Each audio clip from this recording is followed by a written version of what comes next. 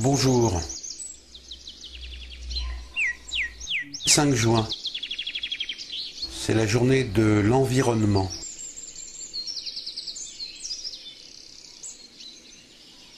Afin de polluer un minimum,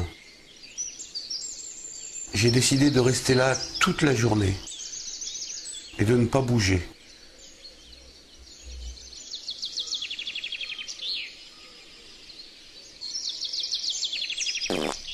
Oh zut.